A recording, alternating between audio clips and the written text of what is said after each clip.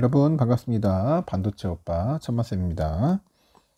어, 이제 늦은 밤이 어, 다가왔습니다. 늦은 밤, 깊은 밤, 어, 조용한 밤은 아니네요. 보니까 좀 시끄러운데 어, 그래도 비를 맞으면서 또 깊은 밤을 보내고 있습니다. 여러분 어떻게 하루 잘 보내셨는지 모르겠네요. 음, 바람도 불고 어, 이 봄바람이 굉장히 매섭네요. 봄바람. 지금 벚꽃도 보이는데 벚꽃이 피질 않아 가지고 지금 날린 것 같습니다. 좀 축제를 해야 하는데 좀 동네방네 좀 축제를 못 하고 있어요. 기상 이변으로 인해 가지고 어, 벚꽃이 피지 않고 있다고 합니다. 빨리 벚꽃이 펴서 음, 벚꽃 랠리 이 벚꽃 랠리를 봤으면 좋겠어.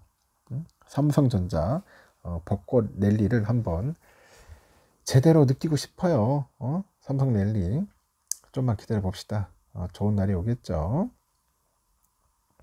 어, 요즘 보니까 그 코스피 그 코스피 3000P 이 코스피 지수 3000에 대한 그 증권가의 기대가 커지고 있답니다. 음? 코스피 지수 3000 어, 주주 환원 확대랑 음, 금리나 그 금리나 시점이 다가오고 있고 그 상장사들의 이익에 대한 전망치가 반등하고 있어서 어, 기대감이 커지는가 봐요. 어, 25일이면은 오늘이지 않습니까? 금토학계 보니까 어, 이달 들어서 한국투자증권, NH투자증권, 하나투자증권 등이 올해 코스피 지수 예상 밴드의 상단을 이제 3천 이상으로 잡네요.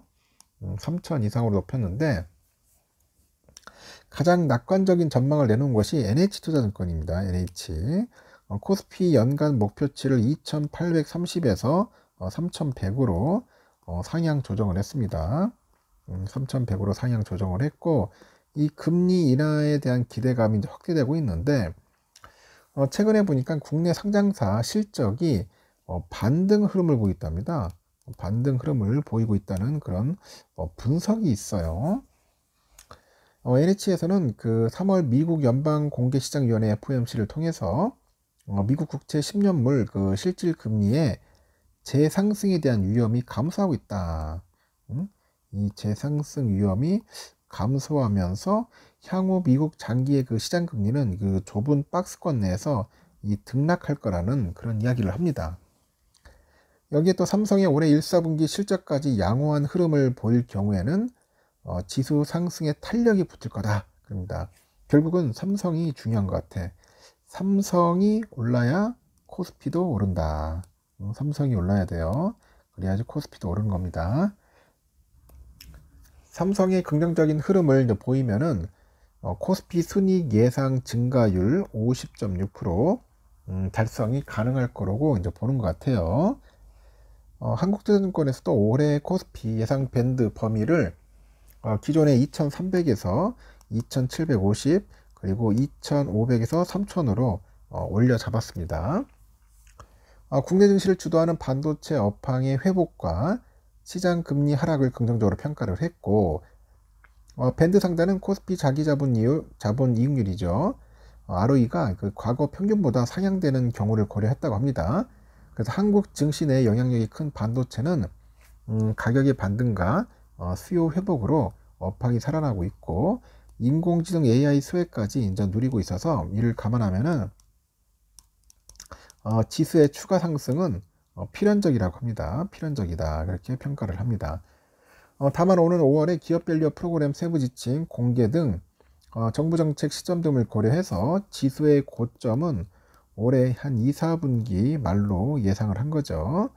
어, 상반기는 IT 중심의 이익 개선과 정부의 밸류업 부양책이 이제 긍정적이다. 이러면서 하반기는 정책 효과 소멸과 어, 대외 정치 리스크로 상승세가 어, 드러날 거라고 합니다. 하나투자증권에서도 그래요. 이달 초에 그 연간 코스피 밴드를 2,300에서 2,800, 2,500에서 3,000으로 상향 조정한 바 있습니다. 어, 밸류업 프로그램의 구체화에 대해서 기업들이 주주 환원에 적극 참여하고 있고 국내 주식장의 기초 체력이 개선될 거라는 그렇게 진단을 하는 것 같습니다. 어, 밸류업 프로그램의 그 세제 개편안 포함 유무가 이제 중요하다고 봤는데 최근에 금융당국의 정책 추진 내용을 보니까 그 가능성을 어, 담고 있다고 하죠. 다른 증권사들도 코스피 지수 상승에 대한 낙관적인 분위기가 확산되고 있는데 어, 이베스트에서 그래요. 이달 코스피 지수 범위 상단을 2870으로 어, 높였습니다. 어, 밸류업 등으로 어, 인해서 주주환원 확대와 상장사 이익의 추정치가 어, 상향되고 있다는 점 어, 근거로 들었네요. 어, 다만 신중해야 한다는 지적도 있습니다. 어, 지금 우리가 남은 매크로 일정에 따라서 채권 금리의 그 반등 가능성을 배제할 수 없을 뿐더러 어, 12월 선행 그 주당 순이익도 상승세를 보여주지 못하고 있다. 현재로서는 어, 코스피 추가 상승 동력이 제한적이다. 제한적이다. 어, 그래서 새로운 모멘텀이 없을 경우에는 단기 과열 해소 국면으로 어, 진입할 가능성이 높다고 어, 짚은 것 같아요. 어, 이런 이야기들을 좀 하는 것 같네요. 보니까. 하여튼 코스피는 3천을 뚫는다. 결국은 삼성이 중요하다. 그런 것 같습니다. 오늘 삼성전자는 어, 아침에는 좋았어요. 갭상승 딱 뜨더니 이쫙 미끄러 내려가는 거야. 어, 상당히 좀 황, 당했습니다쫙 미끄러 내려가가지고 어, 결국은 결국은 700원이나 빠졌습니다. 그 78,200원 마무리됐는데 막판에 또 종가 비스무리한 또 어, 악마 같은 악마 같은 어, 존재가 나타났습니다. 78,500원 정도로 버티는데 78,200원으로 어, 결국 빠졌습니다. 빠졌습니다. 하여튼 78,200원으로 빠졌기 때문에 음, 너무나 좀 아쉽기는 한지 하죠.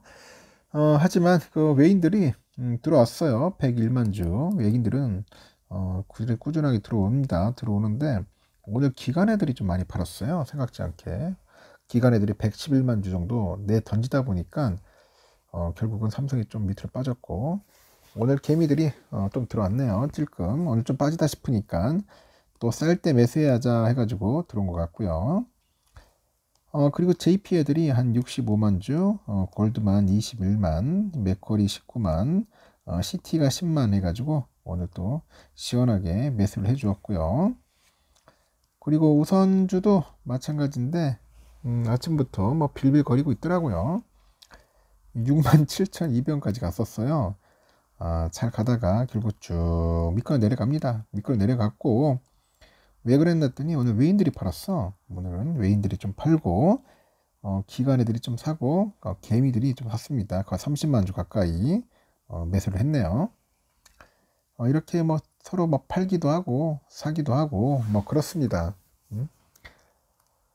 어, 일단은 모건 애들이 28만 정도 매수를 했는데 오늘은 CL이 25만, CT 19만, UBS 12만 매도를 해가지고 오늘 우선주가 상당히 충격스러운 모습을 보여줬습니다. 천 원이나 빠졌습니다. 천 원 오르기도 힘들어 죽겠는데 천 원씩이나 빠지니까 어, 진짜 혼모하죠. 그래도 뭐 여러분 너무 거기에 대해서 상심하지 마시고 또 오를 때도 있고 떨어질 때도 있고 합니다. 당분간은 제가 했잖아요. 이게 변동성이 좀 클 거라고 어, 변동성이 클 건데 음, 일단은 오늘이 모처럼 외인들이 팔았는데요. 이 외인이 판 거는 어, 일성이 그라서 그렇게 별로 걱정을 하진 않아요. 개미들 걸 물량을 많이 좀 털어내야 합니다. 그래야지만이 좀 살아날 수 있을 것 같습니다. 일단 여기까지 하겠습니다, 여러분. 수고하셨고 음, 마지막 방송 때 봬요.